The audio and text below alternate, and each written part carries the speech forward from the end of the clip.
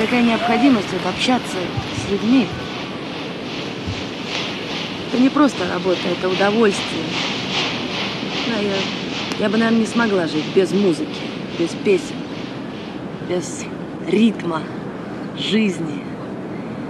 Но, вероятно, во мне столько каких-то эмоций, что мне нужно куда-то выложиться. Так уж лучше в песню, уж лучше в музыку. Так что работа это чисто официально, а для меня это жизнь. Жизнь кончится и